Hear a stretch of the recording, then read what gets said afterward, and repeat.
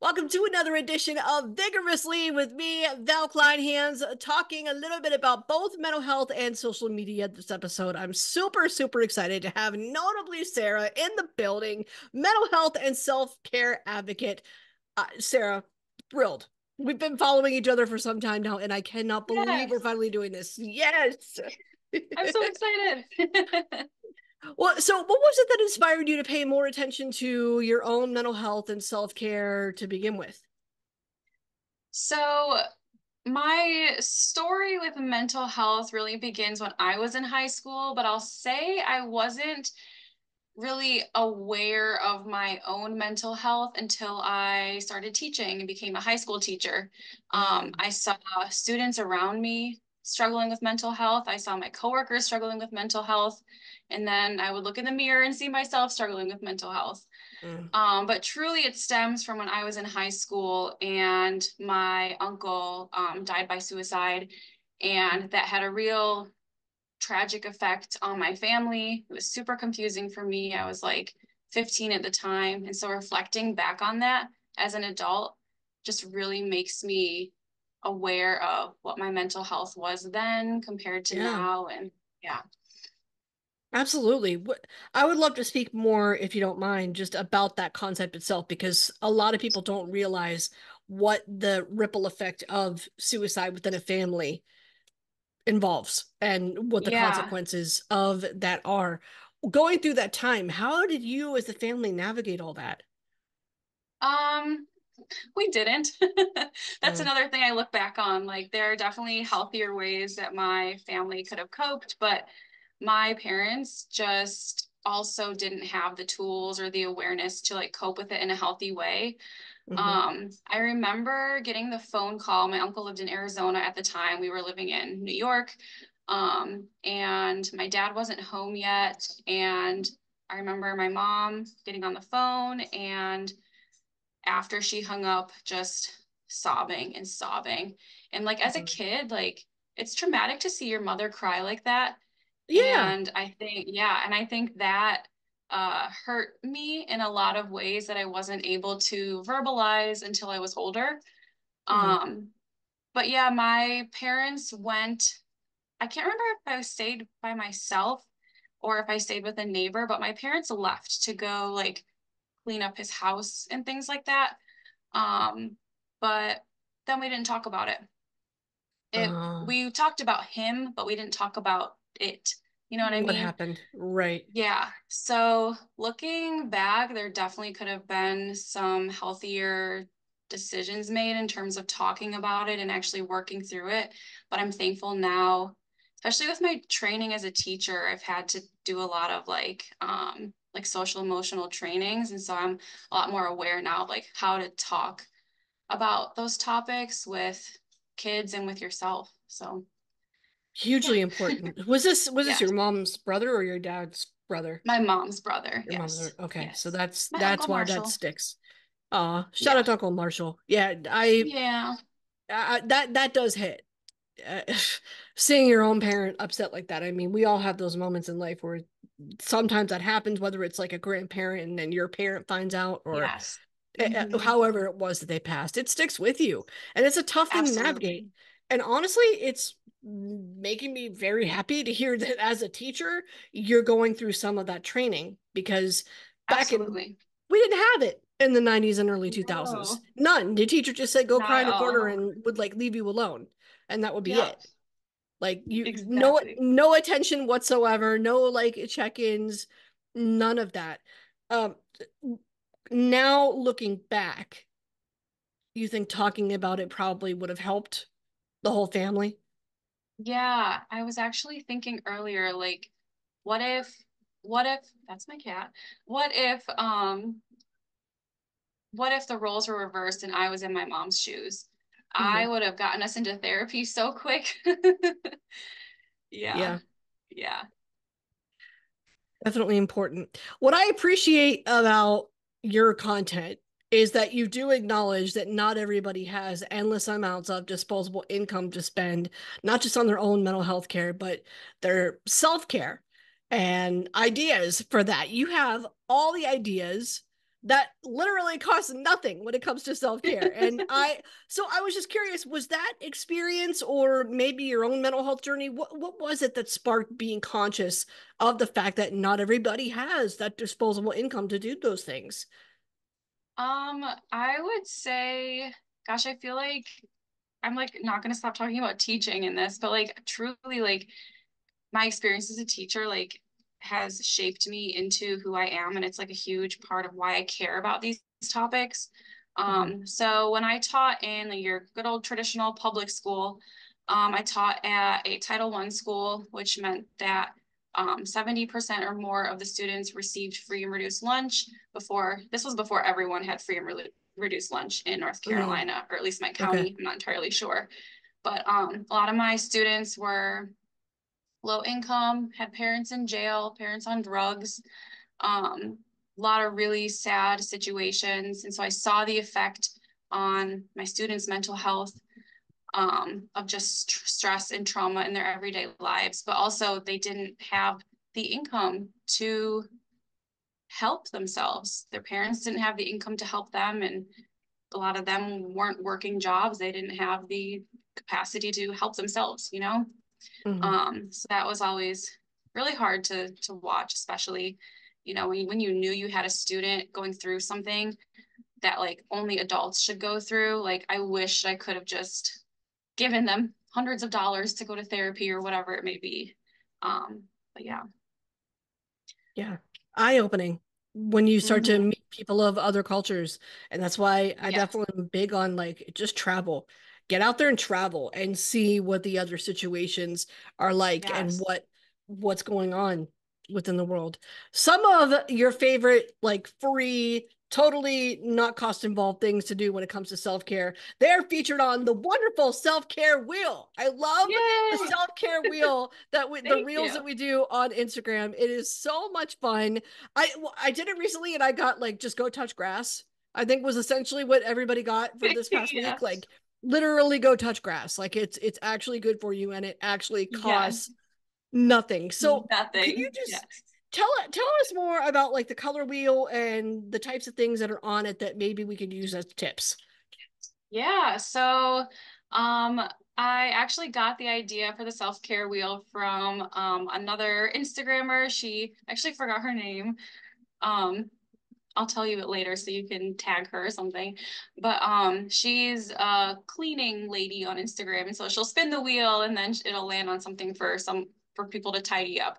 And so I messaged her and, and asked if she would like care if I like took the idea but put it into self-care and she had no problems with it and she sent me the link to her wheel so i wrote in all the self-care ideas and yeah they are all completely free and they're all quick so on my wheel you will not find like go take a 40 minute bubble bath or like mm-hmm. any, mm-hmm. any anything like super time consuming like that because not only do some people not have the money to spend on self-care but they also don't have the time to spend on self-care like if you're a working mom you know um so one of my favorites is definitely sit or walk outside i think that is so just easy and important for your mental health. Sit outside, get in the sunshine, breathe in the fresh air, you know.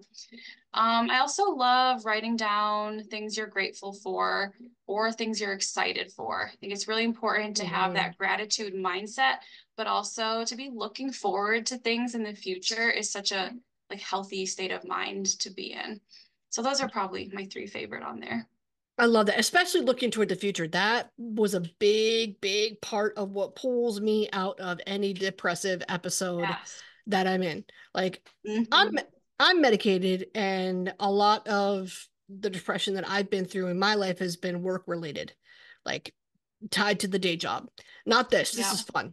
Like this isn't even a job. This is fun but yeah. i just i've had a hard time like in the office in a corporate setting as a neurodivergent person. So i i would get depressed about the fact that i felt like i wasn't doing things correctly or i wasn't making my superiors happy. And i just felt like it was all going to fail and it was all going to implode and therefore i was going to eh, fail the people around me and catastrophe. But right. something happened the second that I started to put my resume out there when I got to a point where I felt like things were getting toxic. it was such a relief. Just that alone, just just like just the act of putting my resume out there was yeah. like I at least have something potentially to look forward to.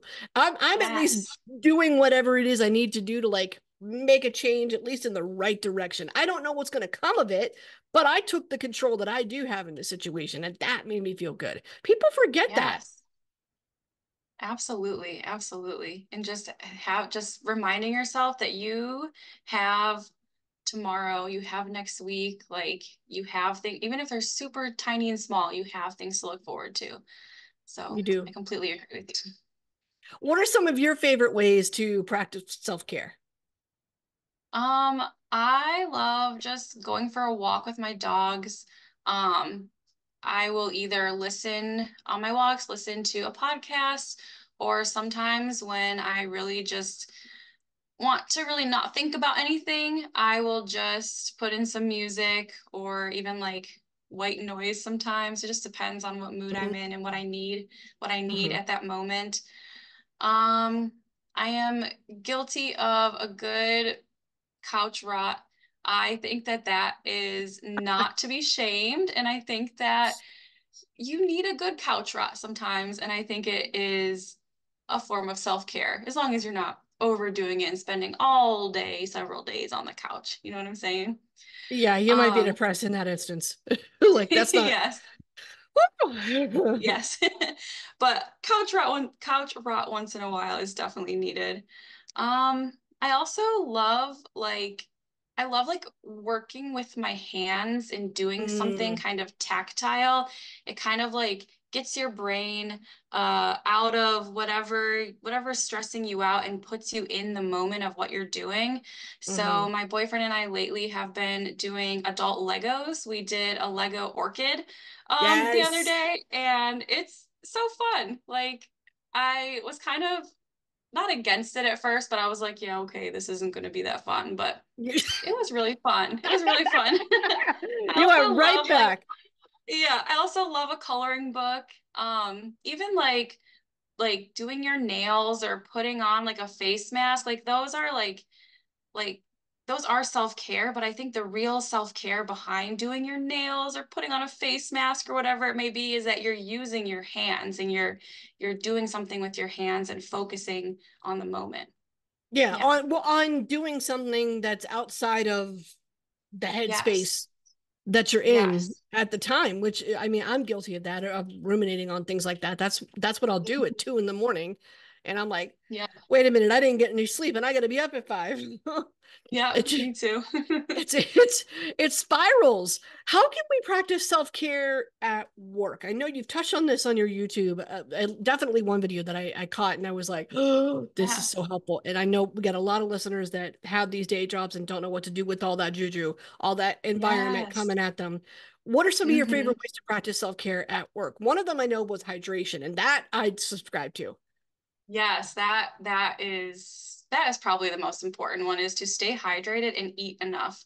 If you're mm-hmm. hungry at work, like it doesn't matter how many plants you have at your desk or how much calming music you listen to. If you are hungry, you are not going to be happy. So definitely feed yourself and hydrate yourself at work, number one. So plan ahead for those things. Um, I would say the next most important thing is to create an environment, even if it's just your little tiny cubicle, create an environment where you feel happy and calm and safe in. Mm-hmm. Um, when I was teaching, I worked really hard to thrift a lot of um, table lamps. So I would always have my classroom lights off and I just had lamps around my room because that lighting and the natural light coming in through the windows too, like made a huge difference. Um, so if you can get away from fluorescent lighting, I highly recommend that. Um, but you know, pictures of your pets or people you love, having plants, having like uh, little objects like trinkets from your travels or whatever it may be on your desk that brings you joy. If you enjoy spending time at your desk or wherever you're working, you are going to feel more cared for by yourself than if you don't have an environment where you enjoy being.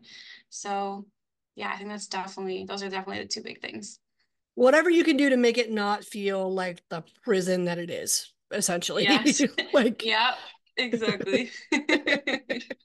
You're a plant mama. You are an animal mama. You've got cats. You got dogs. In what ways? I, I'm curious about this. Do the plants and the pets contribute to your mental well being? Because my cat is amazing. I love her. She seems to know when I'm depressed and she'll like hang out in yeah. bed with me.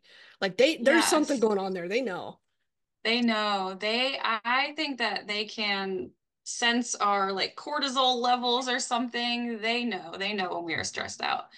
Um but I think the biggest thing about having pets is like having something to implants, having something to take care of um, and nurture and watch it grow. Like that's really rewarding for the human brain. And that is, and of course, snuggles. I love my dogs. I yeah. they they sleep in their bed. Don't come at me. They they lay on the couch. I know a lot of people are against all that, but it's it just makes me happy and like doing things that make you happy is self-care if you're doing them in healthy, you know, healthy ways. So moderation just like anything else i did watch the video with ollie olive and i love her little tag in the video that says dirt because i call yes. my cat a dirt all the time we have like we have thousands of names for her she's also i mean she's a dirt she's also weirdo she's also a pretty girl yep. she's also a kitty girl she's also what are you doing she, yep. she's also a problem she's also the you know mike sorrentino the situation she's also the interruption because she loves to interrupt our sleep. Like we have thousands of names for her. Yeah. What are some of your fun cookie names for your animals? Uh, we actually don't have like that many, surprisingly. We call Olive Derpy, Ollie, Jude. Jude is just oh well, we call Jude the queen and then Olive is the princess. I don't really know where that came from. That's just like kind of the vibes they give off. Oh, um, oh, one's alpha in that situation. Oh, yeah.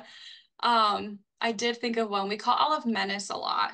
We say a little menace, menace mode. She just, she, you ever seen those videos where it's like uh the dog that made you want to get a second dog because your first yep. dog was so perfect and calm?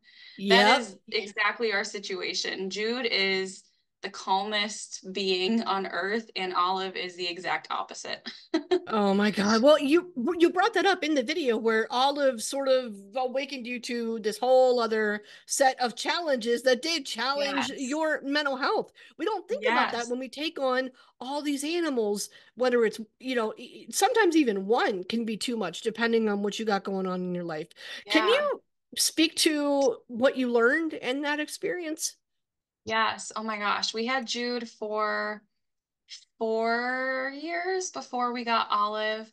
And uh I cried so much. I thought I legit thought we had made a mistake and mm. I did not know how we were going to come out the other side. And it wasn't because of the two dogs, it was actually because of Olive and our cat Frankie. He oh. was he was very territorial. He stopped using his litter box.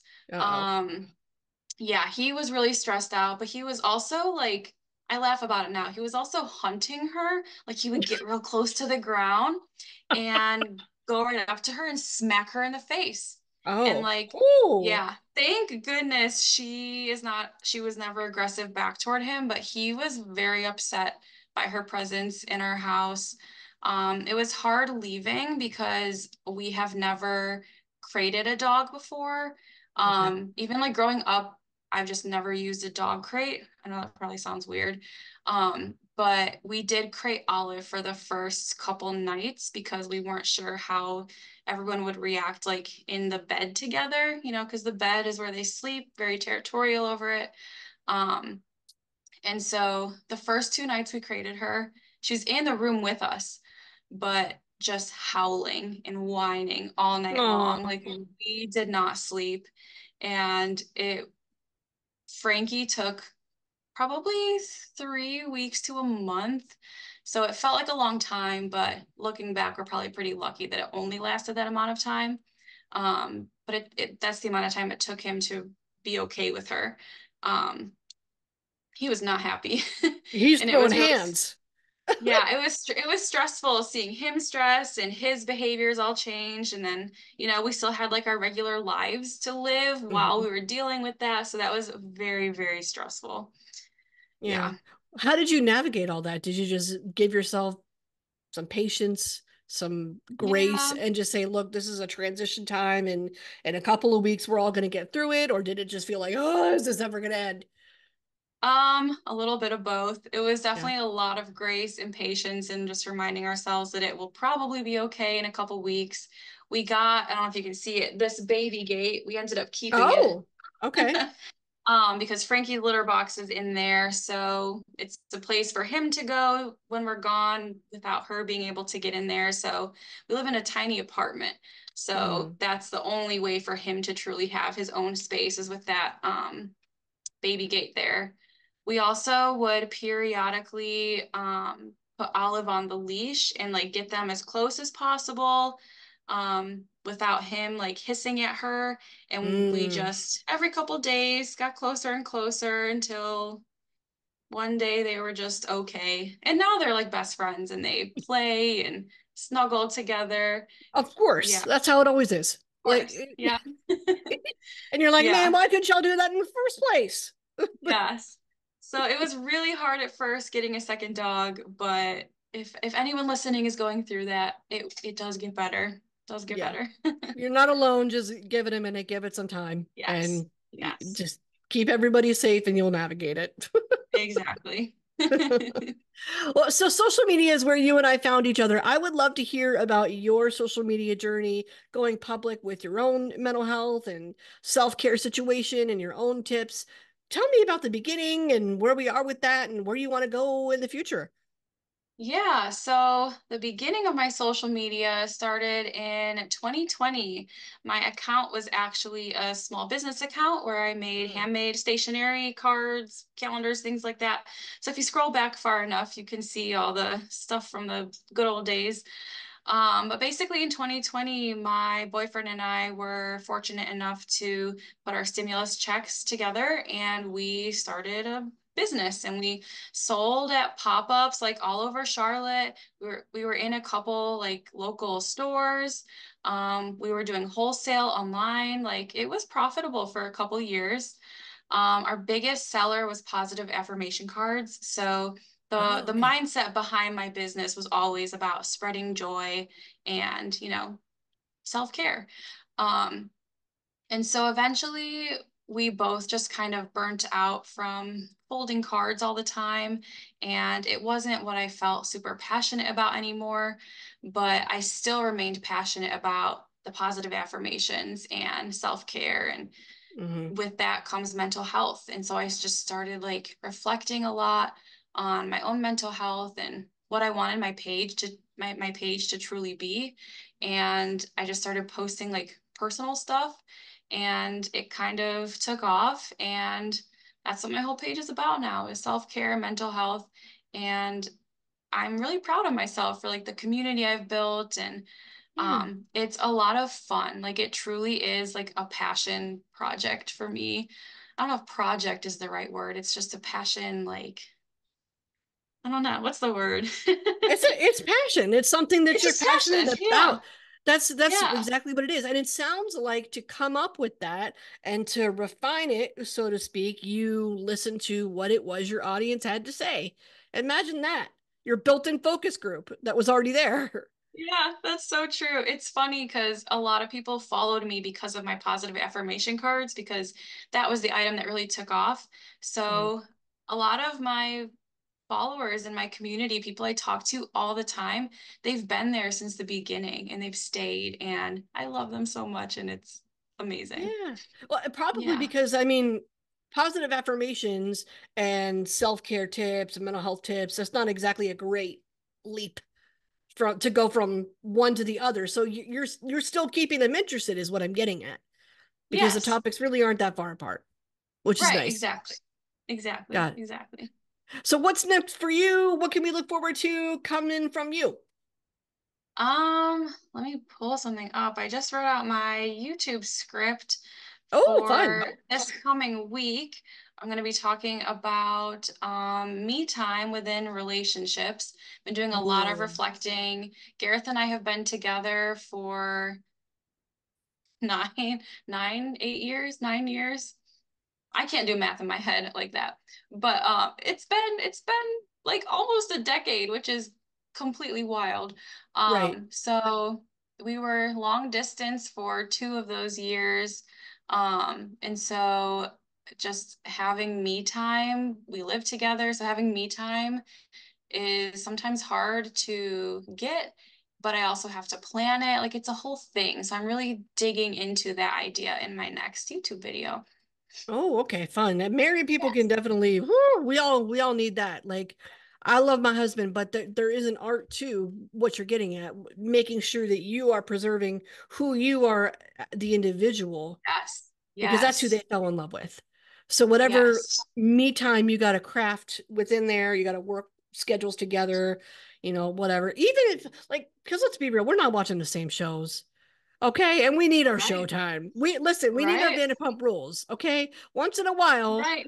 I want my Vanderpump Rules and I want my like Love Is Blind, but he might exactly. Want, but he wants Jeopardy and Kung Fu and anime, and I'm like, that's cool. I'll watch that with you, but I know the other stuff like isn't him. That's just one example of how you can easily and relatively inexpensively create me yes. time.